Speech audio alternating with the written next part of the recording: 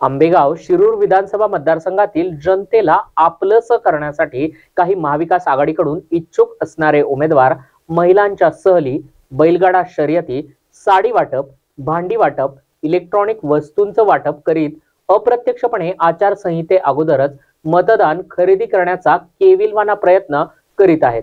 मला निवडणुकीमध्ये एक वेळा संधी द्या असं म्हणत मतदारांना विनंती करीत असल्याचं चित्र या ठिकाणी दिसत असतानाच चक्क सप्तशृंगी देवीच्या दर्शनासाठी गेलेल्या काही महिलांनी विद्यमान सहकार मंत्री दिलीप वळसे पाटील भविष्यामध्ये मुख्यमंत्री व्हावेत असं साकडं सप्तशृंगी देवीला घातलंय. या संदर्भात आमचे प्रतिनिधी डॉक्टर अतुल साबळे यांनी घेतलेला हा आढावा पाहूयात.